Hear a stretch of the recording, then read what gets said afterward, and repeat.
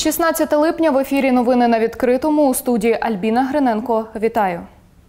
Мінус один вночі на Дніпропетровщині наші оборонці неба збили російський безпілотник. Повідомляють в обласній військовій адміністрації. Окупанти вгатили дроном і по Нікопольщині. Увечері запустили безпілотник по Марганецькій громаді, а вночі по райцентру інформують у Дніпропетровській обласній військовій адміністрації. За їхніми даними, пошкоджений приватний будинок, люди вціліли. Вони жили у справжньому пеклі і не наважувались виїхати до останнього. У кожного з них своя історія. Людмила не покидала рідний Торецьк, бо у її чоловіка хвороба Паркінсона. А Віктор з Костянтинівки не наважувався, бо переніс три інсульти.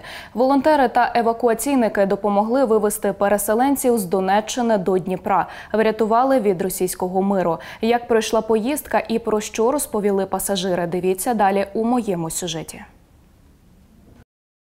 Дніпро залізничний вокзал. На пероні волонтери та евакуаційники. Усі чекають на потяг із Донеччини. Сьогодні у нас сім осіб, котрі зараз перебувають на евакуаційному потязі. Наші екіпажі по- посадили їх на потяг. Потяг Покровськ Львів прибуває. Волонтери рушають до вагонів, аби допомогти вийти евакуйованим, бо більшість з них маломобільні. Ну Мужчина, меня, я это не хочу. Серед пасажирів Людмила Тимофіївна. Вона виїхала з рідного Турецька. Згадує, як виглядає так званий російський мир. все горить, все димить, все взривається. Настоящий ад. Пані Людмила ділиться, самотужки виїхати з Турецька не могла, бо у її чоловіка хвороба Паркінсона. Він прикутий до ліжка. Разом подружжя півстоліття. Жінка каже, переживала, що чоловік не витримає дороги.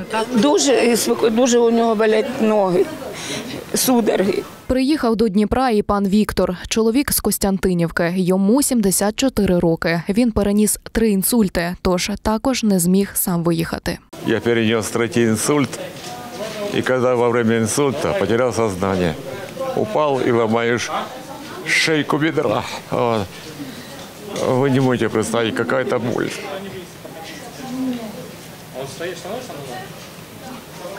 Костянтинівки і пані Алла говорить, окупанти посилили обстріл міста.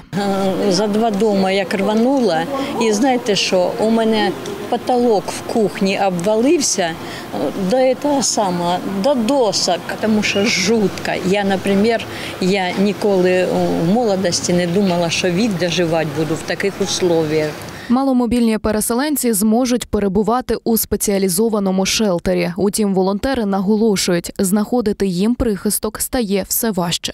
Не вистачає місць в шелтерах, тобто вже людей розпихують як можна.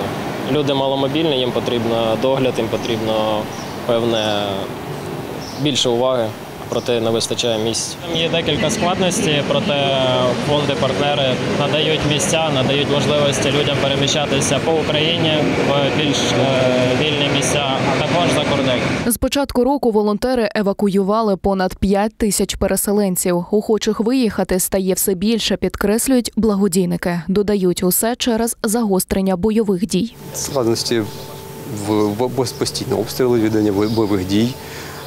Люди, котрі не були попереджені про те, що евакуація буде проводитись в тих чи інших е, регіонах. Ну, тобто це вже питання не до нас, а до тих, хто повинен буде проводити роботу. Е, Як, наприклад, це було в Турецьку на зараз або в Нью-Йорку. Волонтери наголошують, прихисток знайдуть усім. Утім, переселенці мріють повернутися до рідних домівок. Про що я мрію? Про мир, що про що я мрію? Про те, щоб мій чоловік одужав, щоб всі діти були щасливі, щоб, щоб закінчилося це страхіття. Альбіна Гриненко, Іван Лібецький, Open News, телеканал відкритий.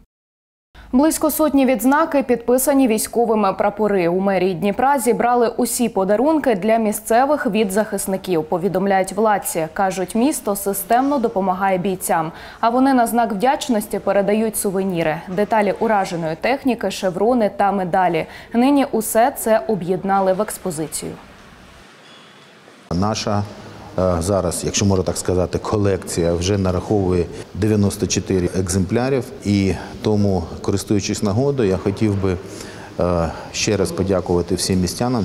Останніми експозицію поповнили бійці об'єднаної штурмової бригади Національної поліції України Людь. Вони передали кілька підписаних прапорів за нещодавно надані пікапи. Це не є разова допомога, це є регулярна допомога від е, громади Дніпра. Ми очікуємо зараз і на безпілотні е, літальні апарати, а також і на квадроцикли, в тому числі очікуємо. Тому однозначно від нас велика подяка Як отримати статус людини з інвалідністю внаслідок війни та на які закони варто спиратися? Різним юридичним хитрощам цивільних навчали на тренінгу у Дніпрі. Організатори кажуть, такі знання збережуть і нерви, і час. І з чим у людей виникають складнощі, і в яких куточках України вже влаштували подібні зустрічі. Подробиці у наступному сюжеті. Усі з блокнотами та десятками запитань у Дніпрі провели тренінг із захисту прав цивільних. Охочі долучилися офлайн та онлайн. По відеозв'язку виступила представниця Організації Об'єднаних Націй.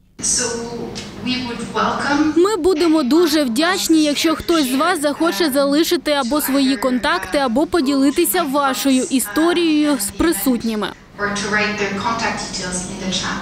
Одна з історій пані Юлії. Жінка отримала поранення на вокзалі у Краматорську. Це сталося 8 квітня 22 року.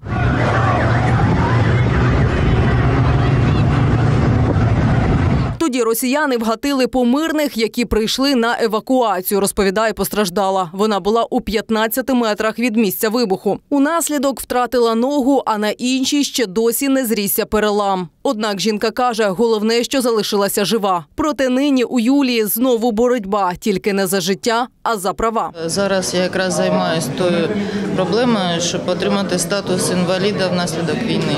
Але коли е, комісія, ну коли я збираю ті документи, то поки я одну справку зберу, то інша вже вона е, становиться е, просроченою. Мені дуже допомагає чоловік, бо я сама б ніколи не змогла ті справки зібрати. На те, щоб зібрати необхідні документи та отримати статус, в Андрія пішли місяці. Торік у березні він потрапив під ворожий обстріл у селі Пречистівка, що на Донеччині. Розповідає, у момент атаки повертався додому з гуманітаркою і дивом врятувався, хоч і постраждала рука. Медики пришили її наново. Не хотіли давати статус, тому що обще, як воно йшло як обще заболівання. Вони казали, що ми не можемо переробляти. У Львові нам написали МСЕК, що від мінно-вибухових там на- було другу формулювання. Вісім місяців ми билися, билися і от на, наприкінець ми добилися. Організувати ж тренінг для постраждалих від війни допомогла обласна військова адміністрація, розповідають активісти. Тим часом вони підготували матеріали, аби навчити учасників різним юридичним хитрощам. Закон про статус ветеранів війни, гарантії соціального захисту. Чим відрізняються ті чи інші статуси, який обсяг соціальних гарантій за тим і іншим законом, про процедури проходження інвалідності. Ми навчаємо, як спілкуватися, як подавати клопотання, як отримати витяг з ЄРДР. Е, Зараз є така вимога, що треба також звертатися до судово медичної експертизи. Це окремий такий великий пласт роботи, і людям треба також допомагати і розповідати, як це робити. Цей тренінг, що пройшов у Дніпрі, вже третій, кажуть організатори. До цього подібні зустрічі також провели на Сумщині та Чернігівщині. Наталія Богиня, Еміна Арнаут, Руслан Герасименко, Open телеканал відкритий.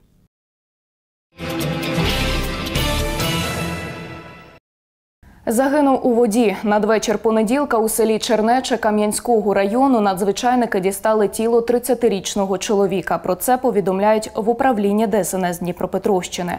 Загиблий перебував за 20 метрів від берега на глибині 2 метрів.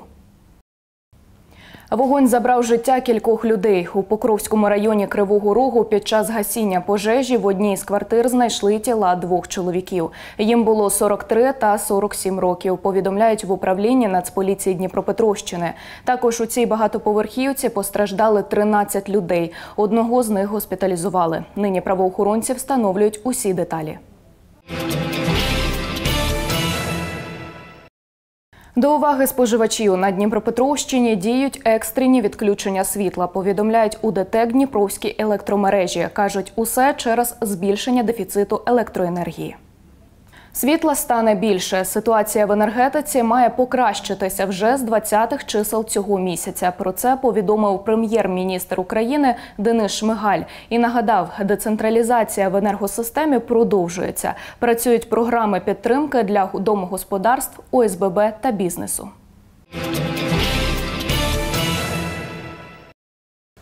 Завдяки сприятливій погоді розпочали раніше. На Дніпропетровщині збирають ранні культури: ячмінь, пшеницю, ріпак. Приступили й до ярих гороху. Про це повідомляють в обласній військовій адміністрації і додають, охопили вже понад 400 тисяч гектарів. Намолотили більш ніж 1 мільйон тонн зернових і бобових. А наприкінці серпня збиратимуть соняшник і кукурудзу, а ще гречку та просо. І це всі новини на цю годину. Підписуйтесь на соцмережі відкритого, які зараз на ваших екранах, аби не пропустити найважливіше та бережіть себе.